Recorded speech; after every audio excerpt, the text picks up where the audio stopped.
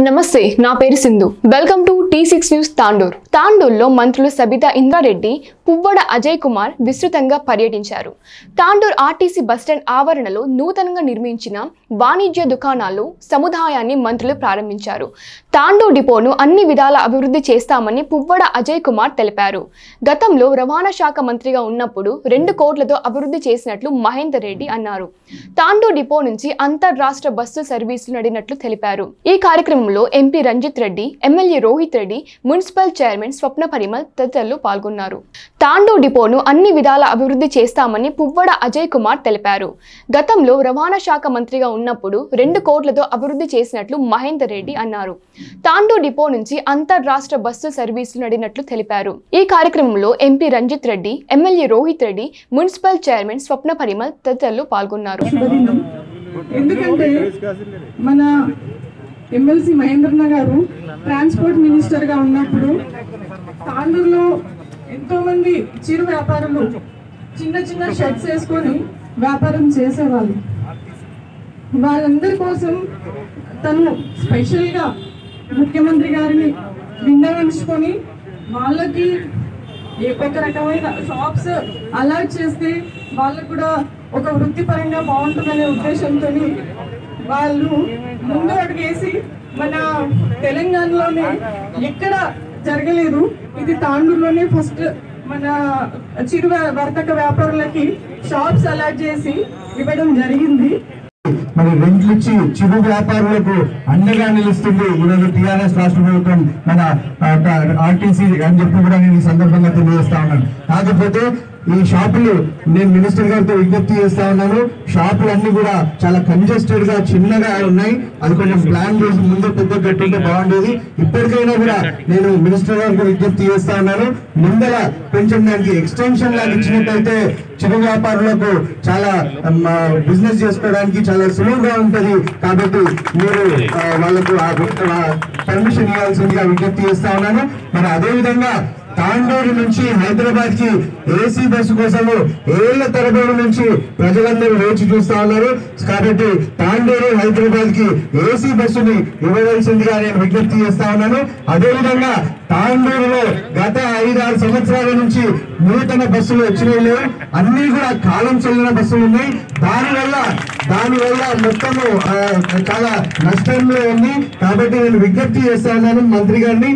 వీలున్నంత వరకు మాకు కొత్త బస్సులని ఇచ్చినట్టయితే మరి ఆ, ఇక్కడ అన్ని విధాలుగా కూడా ప్రజలకు అదే విధంగా ఆర్టీసీ కూడా మంచిగా ఉంటుందని చెప్పి కూడా నేను విజ్ఞప్తి చేస్తా ఉన్నాను. మరి అదే విధంగా మరి ఇక్కడ ఇంకా ఎంతో ప్లేస్ ఉంది. ఆ ప్లేస్లో కూడా ఈసారి కొంచెం మంచి ప్రాపర్గా మీ మంత్రి గారి ఆదేశాల మేరకు మరి ఇంకా నూతనంగా కాంప్లెక్స్ కట్టినట్టయితే మంచిగా ఉంటుందని చెప్పి కూడా నేను విజ్ఞప్తి చేస్తా ఇంతకుముందు MP transfer minister Puvvada Ajay గారికి గౌరవ ప్రజలు విద్యాశాఖ మంత్రి సబితానంద రెడ్డి గారికి గౌరవ ఎంపీ డాక్టర్ రంజిత్ రెడ్డి గారికి సభాధ్యక్షులు స్థానిక ఎమ్మెల్యే రోహిత్ రెడ్డి గారికి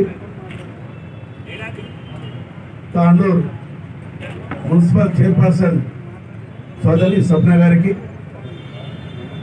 వైస్ చైర్పర్సన్ దీప గారికి వేదిక మీద ఉన్న రవిగౌడ్ గారికి రోహ్ గారికి కౌన్సిల్ అందరికీ జెడ్పీటీసీ మంజుల గారికి మండల అధ్యక్షురాలు అనితా గౌడ్ గారికి కౌన్సిల్ అందరికీ ఈ కార్యక్రమంలో పాల్గొన్న తాండూరు నాయకులందరికీ అదేవిధంగా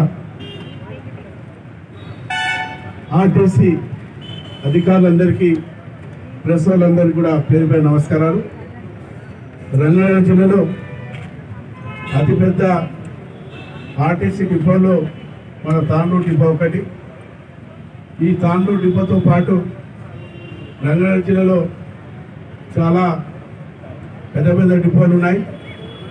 రంగారెడ్డితో పాటు తెలంగాణ అన్ని జిల్లాలో కూడా మరి గౌరవ ముఖ్యమంత్రి గారు కొత్త బస్సులు కూడా తెలంగాణ రాష్ట్రం ఏర్పడిన తర్వాత చాలా బస్సులు కూడా తీసుకోవడం కూడా జరిగింది.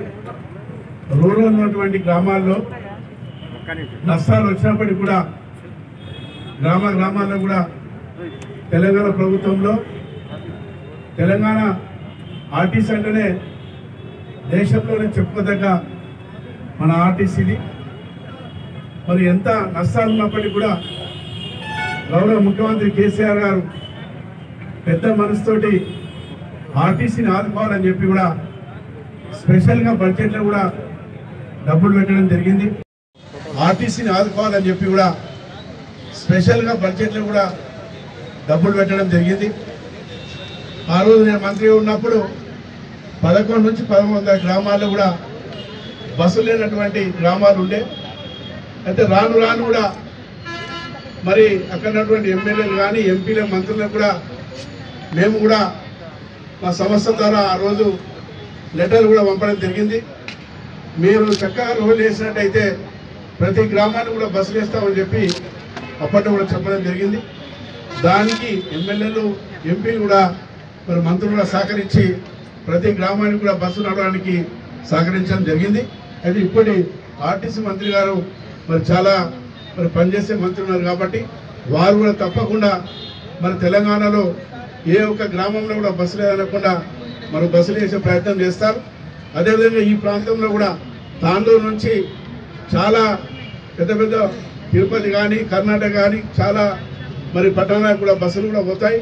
మన రంగారెడ్డి జిల్లా నుంచి కూడా మరి మెయిన్ మన హైదరాబాద్ బస్ డిపో నుంచి కూడా మరి ఇతర రాష్ట్రాలకు కూడా పెద్ద ఎత్తున బస్సులు కూడా పోవడం జరుగుతుంది. ఎక్కడైతే లాంగ్ రూట్లలో పోతున్నటువంటి బస్సులు ఉన్నాయో అక్కడ లాభాలు ఉంటాయి.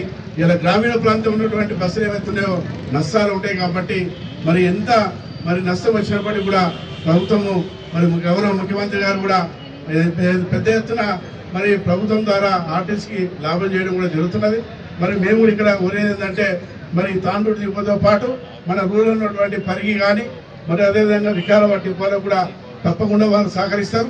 అదేవిధంగా ఇక్కడ పేదరికం ఉన్నటువంటి అందరూ కూడా మరి చిన్న చిన్న మరి ఏదైతే షాపులలో ఉండేవాళ్ళు మరి ఎక్కడ లేని విధంగా ఆనాడు మరి డిపో మేనేజర్ కానీ ఆర్ఎం కానీ సహకరించి ఇంత కష్టకాలంలో ఆర్టీసీ దాంట్లో కూడా ఈరోజు లక్ష ఇరవై వేలు పెట్టింది ఇరవై తొమ్మిది దుకాణాలు కట్టించి చిరు వ్యాపారులకు మూడు వేల ఐదు వందల రూపాయలకు రెంట్కి ఇస్తున్నారంటే నిజంగా అది ప్రభుత్వ గొప్పతనం. ఎందుకంటే ప్రతి రీత్యా ప్రతి దగ్గర కూడా డబ్బులు సంపాదించాలి అన్నది ఎవరికైనా ఉంటుంది. యాజ్ బిజినెస్ మ్యాన్ కానీ ప్రభుత్వ పరంగా కూడా. అయినా కానీ చిరు వ్యాపారులకు కష్టం అవుతుందని చెప్పి దుకాణాలు కట్టించి లక్షన్నర పెట్టి మూడున్నర వేలే. బస్ స్టాండ్ అనేది ఒక సెంటర్ ఉంటుంది ఏ ఊరికైనా. తాండూరు లాంటి టౌన్ చాలా పాత టౌన్ పాత మున్సిపాలిటీ. ఇక్కడ అలాంటి ప్రాంతంలో ఉన్న పేదవాళ్ళకు సంబంధించిన షాపుల్ని పర్మనెంట్ చేసే విధంగా ఆర్టీసీ తరఫున ఇవాళ ఇరవై తొమ్మిది మందికి పక్కా మరి దుకాణ సముదాయాన్ని ఏర్పాటు చేయడం ద్వారా ఆర్టీసీ వాళ్ళందరికి కూడా దాదాపు లక్ష యాభై రూపాయలు ప్రతి దుకాణానికి కూడా ఖర్చు పెట్టి ఆర్టీసీ తన సొంత నిధుల ద్వారా దీన్ని నిర్మాణం చేసి అందజేయడం జరిగింది. క్యాపిటల్ ఇన్వెస్ట్మెంట్ అంటే కొత్త బస్ డిపోలు కానీ లేదా కొత్త బస్ స్టాండ్లు కానీ నిర్మాణం చేయడానికి ఆర్థికంగా ఆర్టీసీకి కొంత కష్టంగా ఉంది. ఆర్టీసీకి సంబంధించిన ఉద్యోగస్తులకు సంబంధించిన కొంత జీతభత్యాలు ఇప్పుడు రెగ్యులర్గా పే చేసుకుంటూ వస్తూ ఉన్నాం. కొంత కష్టం ఉన్నది.